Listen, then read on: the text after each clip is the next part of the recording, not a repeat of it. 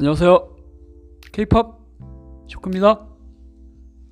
서울 시내 강남 한복판에 방탄소년단 멤버들의 모습이 등장해서 거리를 지나던 시민들을 열광시키고 있습니다.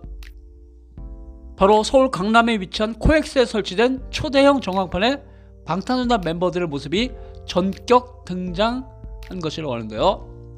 이날 행사는 방탄소년단 멤버들을 주제로 하는 웹툰 웹소설 세븐페이트 차코를 홍보하기 위한 특별 이벤트라고 합니다.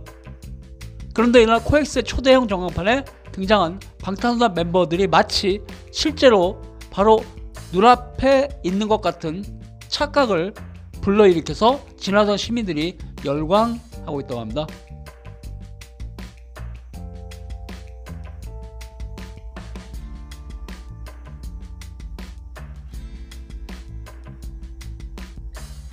바로 최첨단 기술을 사용해서 완성한 초고화질 디지털 효과로 방탄소년단 멤버들의 생생한 모습을 구현한 것이라고 하는데요.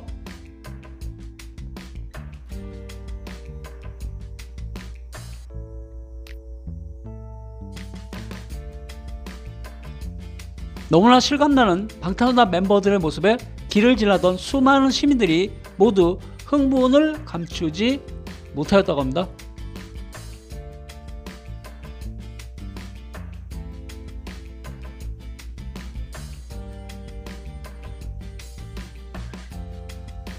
방탄소년단 멤버들을 주제로 하는 웹툰 웹소설 세븐페이츠 차코는 오는 1월 15일 네이버 웹툰을 통해서 10여 개국 언어로 전 세계에서 동시에 공개될 예정이라고 하는데요.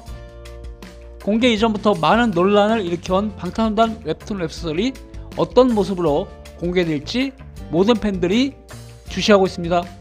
지금까지 K-팝 슈커스입니다.